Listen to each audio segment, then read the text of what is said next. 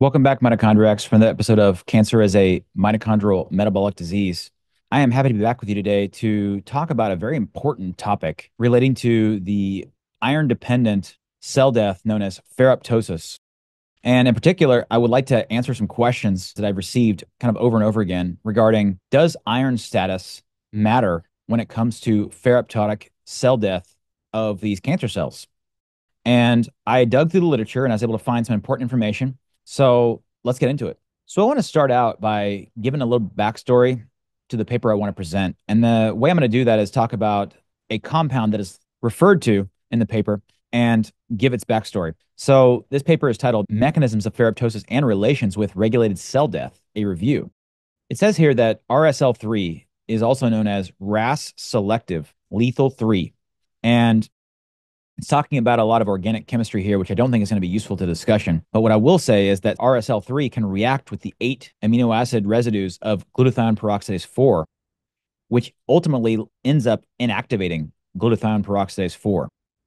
And we know from prior videos that inactivating glutathione peroxidase 4, decreasing glutathione, increasing iron availability, etc., can increase the likelihood of ferroptosis happening by the excess reactive oxygen species, which would not be quenched during that process. And the next paper is titled Inactivation of Glutathione Peroxidase GPX4 by ferroptosis inducing molecule RLS3 requires the adaptor protein 1433 epsilon.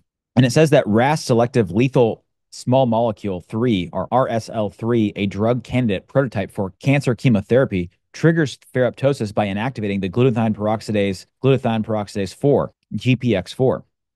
And further down, it says the interaction of glutathione peroxidase 4 with a redox regulated adaptor protein operating in cell signaling further contributes to frame it within redox regulated pathways of cell survival and death and opens new therapeutic perspectives. And the next paper is titled RAS selective lethal 3 induced ferroptosis promotes the anti tumor efficiency of anti programmed cell death protein 1 treatment in colorectal cancer cells. And ultimately, what we're seeing here is that the inducers of ferroptosis, in this case, we're using RSL3, but I, I personally believe that that could be literally any inducer of ferroptosis that we have talked about in the last several weeks, has synergistic effects with this anti PD1, which is a hot kind of immunotherapy that is being rolled out for a variety of cancers. And it says here that anti-program cell death protein 1, PD1 treatment has exhibited clinical benefits in colorectal cancer. However, the low response rate of colorectal cancer to immunotherapy is an urgent problem that needs to be solved. So, unfortunately, a lot of these blockbuster drugs end up having resistant phenotypic cancers. So they have to go and use other mechanisms as a way to help them work. And one of the ways that they have found that helps them work is RSL3 the inducer of ferroptosis. And we see here that there is the wild type cancer cells here, and then they are exposed to this anti PD1 treatment. And then they're also exposed to RSL, but when used in combination, you see a much greater response because of the synergy there.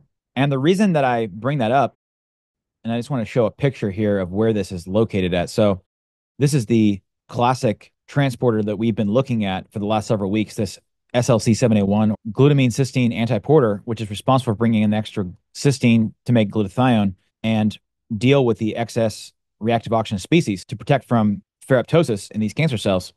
And we see that this RSL3 is blocking glutathione peroxidase so that this glutathione that's being made cannot be recycled effectively and participate in further redox chemistry to help further protect from lipid peroxidation and ferroptosis.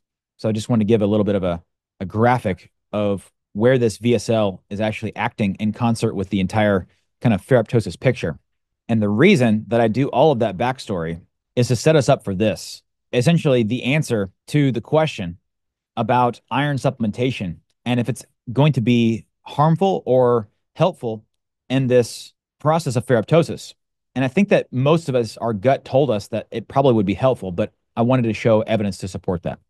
So this paper is titled Iron Supplementation Enhances RSL3 Induced Ferroptosis to Treat Naive and Prevent Castration Resistant Prostate Cancer.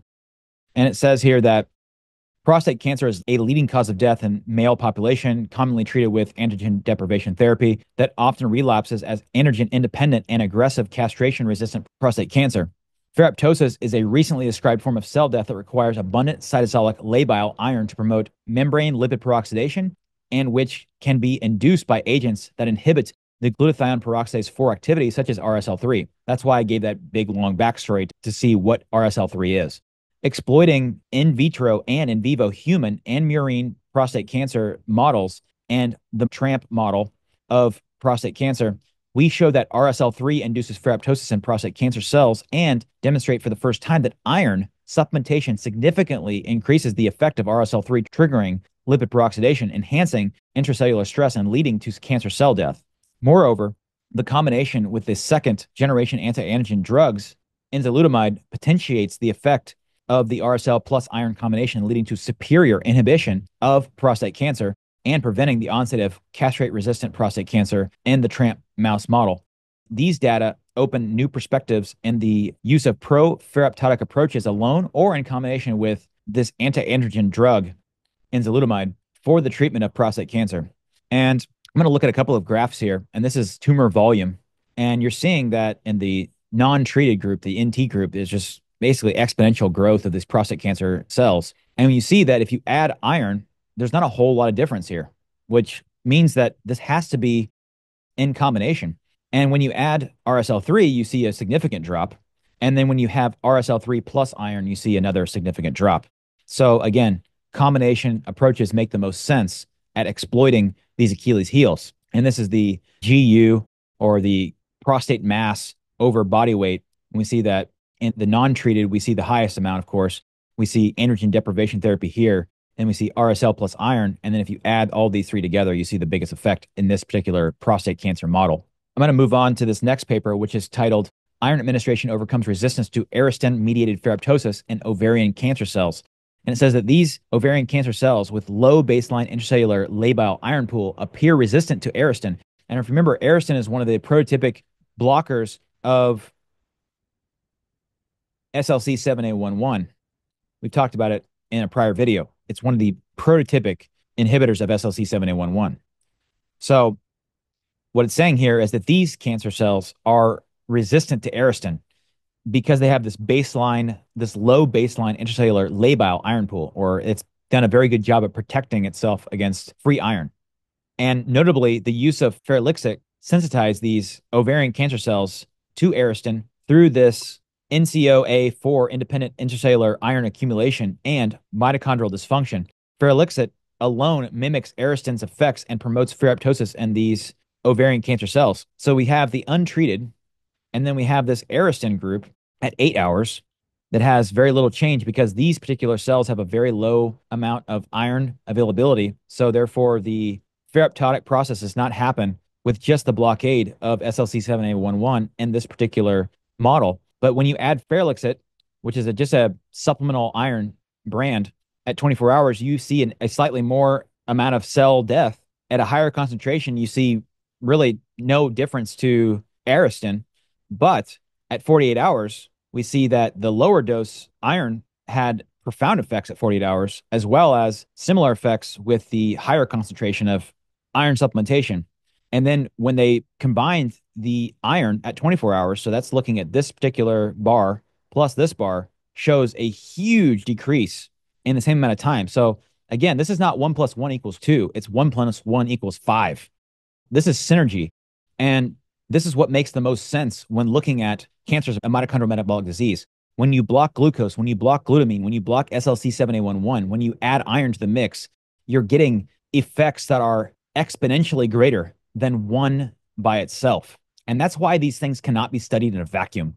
You'll never get the effect that you're looking for when you study these things in a vacuum. They have to be studied in synergy. That's why when I look at those studies from Don that were not effective using IV formulations, but the by mouth were more effective, but still not effective as you would expect something that has profound effects on glutamine to have. It makes sense that when you add and you put it in combination with the press pulse framework and you have this beautiful synergy happening, you're going to see radically improved results compared to these things used in a vacuum. It's kind of like a Jenga board where you have some of these pieces that are like critical pieces to holding up the whole thing. When you take out some of the critical pieces, the thing just has to fall down. It just has to fall down because it relies on those things so heavily. And that's why glucose, glutamine, and iron in combination likely would have unbelievable effects. I hope this was uh, good for you guys. I, I, was very excited to find these results out. Um, I know that a lot of you guys had asked the question about iron supplementation and whether or not it would affect this process. And my gut told me that it would, but as you can see now, that it has profound effects. And it doesn't take the high doses didn't make a, a huge difference. It didn't seem like, at least in this particular study with ovarian cancer. So, you know, dosing, timing, and scheduling, of course, is between you and your doctor and probably to be determined. And there's going to be some nuance with that because obviously we don't want you to overload iron. We don't want you overdoing anything. But being deficient probably is a problem. And, you know, reasonable supplementation probably would also make sense as a way to augment and enhance the ferroptosis that we are trying to trigger utilizing other modalities. So if you like this video, please like it. If you have someone in your life that could use this information, please share it with them. If you're not yet a subscriber, please go ahead and just hit that subscribe button. And until next time.